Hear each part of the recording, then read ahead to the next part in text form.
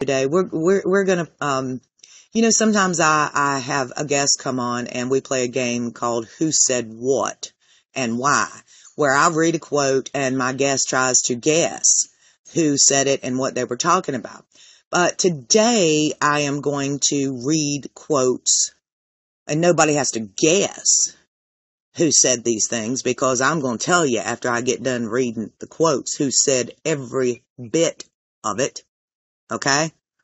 Who said every bit of it. And there's a reason that I am highlighting these quotes from this particular political leader in Moore County. And again, that reason ties back to Sandhills Community College. So Sandhills is going to be in the spotlight today on this podcast. Let me go ahead and start reading these quotes. This quote was taken from a letter to the editor written to the pilot a couple of years ago. Okay. Um, and it, you know, the person who, who said it, uh, wrote it in a letter to the editor. Okay. Who do you think your readers are? The tattooed punks who work at Nature's Own? Well, that was one quote from that letter to the editor. And you know what? The owners of Nature's Own are uh, veterans. Uh, it's a locally owned and operated organization, and I guess just because uh, the person who said this uh, doesn't like tattoos, he decided to call these veterans, these people who are making our community better, he decided to call them punks. A little bit later in that same letter to the editor, he asked uh, the editor of the pilot, Mr. John Nagy, and you, John, apologizing to Robbins because it's a garbage infested eyesore inhabited by subsidized entitlement addicts. So this same guy is saying that Robbins is full, full, full of entitlement addicts and that it's trashy. Good guy. Good, good guy. Okay. Now here, I'm going to read a quote that was posted on this guy's blog that he runs, a blog post that he wrote, same guy. Same guy, and in this particular instance, he was chastising two Moore County area churches, Brownson and Trinity, for partnering together to uh, take basically what was a trip to Washington D.C. to tour some of the more famous civil rights museums and monuments, and this is what he had to say about this. You're not even safe at church. This week, a 49 person delegation comprised of Brownson Presbyterian Church members, along with local black faith leaders, that would be Trinity, is traveling by bus to Washington, D.C. Brownson is a predominantly white church, but to my knowledge has no history of prohibiting black or Hispanic congregants. Nonetheless, the stated itinerary of the trip focuses on visits to civil rights monuments and museums, and daily Bible study to improve lines of communication within our community. Okay. Well, I'm going to go ahead and read some more of this quote. But before I do, I'm just going to say, you know, this guy's really seems to be upset that a black church and a white church are working together, you know, to visit some civil rights monuments, okay? He goes on to say, the promotion of the bus trip was kicked off over a period of seven weeks from the pulpit and included a guest sermon by the author of a book entitled Waking Up White. It is an apologetic tome which she regrets her upbringing amidst white privilege. Left unsaid by religious, leader, religious leaders, black and white, is the obvious reality that God determines the race of every one of us. Furthermore, American society has long accepted the existence of the black church absent hint of malice, but God help anyone who identifies as a member of a white church. Okay, so this guy is obviously upset, obviously upset, alright, that this uh, traditionally white church and traditionally black church decided to get together and hold a series of Bible studies to open communication and then, oh, the audacity, planned a bus trip to Washington D.C. to look at, you know, uh, visit civil rights museums and civil rights monuments. I mean, you know, seems to me like he's protesting just a little bit too much here. You know, he, mm, okay.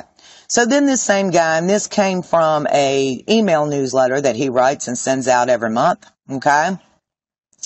He's talking about redistricting and he's talking about the redistricting um, that took place. I believe it was in 2019. I believe it. Uh, you know, that's when the plans were made, and one of the things that the redistricting process in Moore County Schools did was it took students from Southern Middle School and um, put them in Cranes Creek Middle School. Okay. And so, um, you know, we've had all this trouble with Cranes Creek Middle School, this manufactured outrage, this manufactured controversy from Cranes Creek Middle School. I've talked about it over and over again. I'm not going to talk about it right now. But um, the line from the right wingers in the community is that those kids from Southern Middle School uh, came into Cranes Creek Middle School and, and started causing all the problems. And as I've said before, if you talk to teachers, they'll tell you that that's not actually the case. It's also a fact that it wasn't just minority students or student of color who were taken out of Southern Middle School and sent to Cranes Creek Middle School. But of course, that is the, um, the narrative being pushed by the Bob Levy's and the David Hensleys of the world that uh, for whatever reason, the Moore County Board of Education took a bunch of, let's just be honest, black students out of Southern Middle School and bused them to Cranes Creek Middle School. And, and, you know, that's not exactly what happened, but that, that is the narrative that they are pushing. And here's the quote from this same guy. It was an abject failure. Now he's talking about uh, redistricting. A swarm of hostile students from Southern Middle School quickly overwhelmed Cranes Creek staff and turned the Carthage campus into a war zone. Now, what you need to understand is he is talking about minority students there. Okay, that, that's what he's talking about. And everybody else can gloss around that and, and pretend like they don't understand the code words, but he's basically calling minority students a swarm of hostile students. A swarm of hostile students. Okay. Now here's a quote from this same guy. He sent this in a personal message, which then got p- posted all over Facebook because of the nature of the threat. This message uh, was sent to a uh, election volunteer, a poll worker who was out there, I believe, campaigning for Frank McNeill. And, um, you know, this particular poll worker, who I'm not going to name, everybody who pays attention to politics knows knows who it was. Um, had some words with a uh, someone who was out there um, stomping for Republicans, and uh, you know it was a little bit of a heated exchange, but the, you know there was no hands thrown, there was not no no cussing, there was no threats or anything like that. But this particular man took it upon himself to send this volunteer, this poll, poll worker who was out there doing his civic duty. He sent him this message: "Hey, you bag of excrement." Try doing what you did this afternoon at Pinehurst at early voting again. I assure you we'll need a lawyer and a chiropractor in short order, scumbag. Okay? This is a, a obvious, obvious, obvious threat. Okay? An obvious threat. Said he was going to need a chiropractor. Sent it in writing to a volunteer, uh, an election volunteer out there doing, um, you know, civic duty. Okay, let's see. There's even more. There's even more, believe it or not. Okay, this particular quote was taken from the Moore County GOP page where uh, this person is has control of that page, decides what gets posted and what doesn't get posted. And he shared a post from his own personal page that he wrote. And here is the post. And just so you know, this post was written about Simone Biles, the American Olympian, the gold medalist, the greatest female gymnast and, and probably gymnast overall that ever lived, one of the greatest athletes that ever lived uh, a woman who competed has competed on broken feet, toes, a woman who has competed with uh, kidney stones, a woman who w- has competed uh, hours after United States Gymnastic Association allowed her to be molested by a team doctor and did not intervene to help her. This woman who endured all that and competed honorably for the United States of America for years, carried the gymnast program on her back for years, multiple gold medals brought home from previous Olympics, but she decided that she was not mentally or physically able to compete in the last summer Olympics, and so she withdrew from competition, and this is what this man had to say to her. Snowflake alert. Why are today's athletes such head cases? Americans never quit. Today on the Olympic stage, a very high profile American defied that, that sacred pledge. I was not in the right mental space, said the snowflake gymnast Simone Biles, as sponsors looked frantically for vomit bags. Okay. So I don't think that that really needs any um, explanation. Okay, this is another uh, quote from him taken directly from his personal Facebook page, his personal Facebook Facebook page. A couple of years ago, during a Board of Education uh, meeting, it ended in a shouting match after uh, Robert Levy was chastised by a couple members of the board for comparing, um, you know, uh, programs put together to demonstrate the successes of Moore County Public Schools to Nazi propaganda. There was a shouting match. Okay uh, at the end of the meeting, and this is what this man posted on his personal Facebook page. Moore County School Board Chair Carter is a dictator who needs to be destroyed. A dictator who needs to be destroyed. Okay. I'm going to read one more. This is a direct quote from this man. He posted it on the official Moore County, North Carolina GOP social media page, the official social media page of the Moore County Republican Party. In this uh, post, there's a picture uh, that was taken in this man's home where he conducted a meeting hosted by him, participated in by the infamous Sloan Rachmuth at Education First Alliance. Okay, um, she, uh, you know, we all know what they are. They're anti-trans, anti-American, anti-freedom, uh, group. But she held a meeting at, at, um, this man's home and it was attended by, uh, Board of Education members and community members. And this is what this man posted on his, on the Moore County Republican Party official social media pages.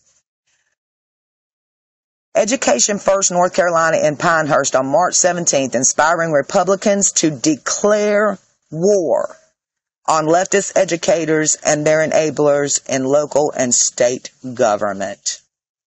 Declare war. Now everybody knows who I'm talking about here. Every single one of those vile quotes came out of the poison pen of one Mr. Steve Woodward. One Mr. Steve Woodward.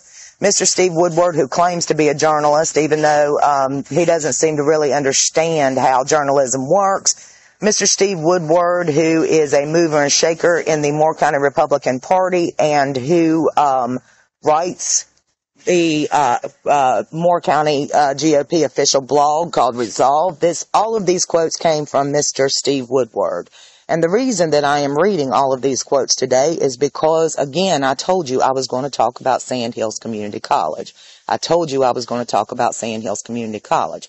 The Moore County Board of Education, in its inc- infinite wisdom, has decided to appoint this man, Mr. Steve Woodward, to the Board of Trustees at Sandhills Community College. There's a provision in the bylaws, a provision in the bylaws that says that the Sandhills Community College Board of Trustees, in conjunction with the State Board of Trustees of Community College, can remove a member of the Board of Trustees if it can be proven, if there is evidence of disreputable or immoral behavior. So I want to ask my listeners, is calling minority students disreputable and immoral? How about sending a personal threat of physical violence to a volunteer poll worker? Is that disreputable and immoral? How about criticizing two community churches for daring to try to learn more about the civil rights mu- movement and have better communications to one another? Is that disreputable and immoral? What about declaring war on educators and their enablers? What about calling teachers groomers and pedophile supporters, which he has done frequently? Calling the faculty at Sandhills Community College groomers and liberal indoctrinators with no evidence whatsoever. None whatsoever. Okay. This is the man who is going to be seated on the Sandhills Community College Board of Trustees making decisions about education, vocational education academic education, continuing education.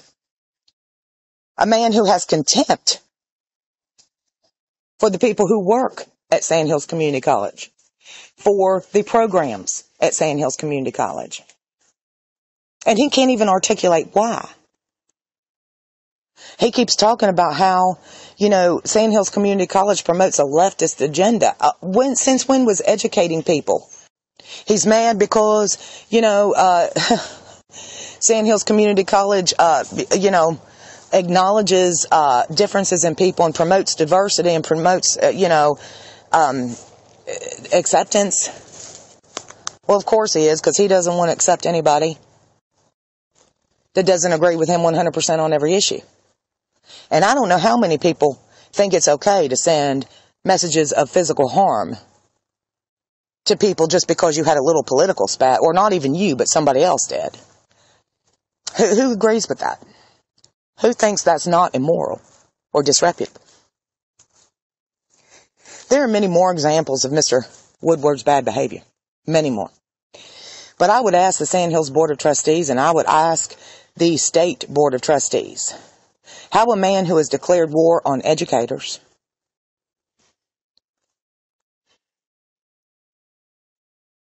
how a man has declared an entire community to be trashy and infested by drug addicted entitlement addicts a whole community that Sandhills Community College is supposed to serve. A man who has criticized churches for just trying to open up lines of communication and understand each other better. A man who has spoke out repeatedly against the rights of LBGTQ plus people to even exist because he claims they're all mentally ill and in need of lithium and they're all shrieking and they're all, you know,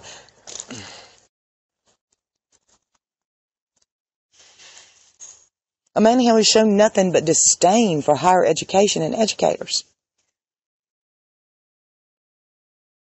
How is he going to help lead Sandhills Community College anywhere, anywhere but into the gutter? immoral and disreputable. You know, I tend to think that if someone, a leftist, as he likes to call people, if a leftist had sent Mr. Woodward such a graphic threat, pretty sure there would have been some legal repercussions there. Telling somebody that if you encounter them and they behave in a way that you don't like, that they're going to need a chiropractor. Calling our teachers groomers. Calling LBGTQ people mentally ill. Calling the town of Robbins trashy and infected by entitlement addicts. Declaring war on our educators. Declaring war on individual politicians and saying they should be destroyed. I don't know. I mean, if you ask me, I think that that is all pretty immoral and disreputable. And I think the Board of Trustees and the State Board of Trustees really need to think about rejecting Steve Woodward. They have the legal authority to do it. Question is, do they have the balls?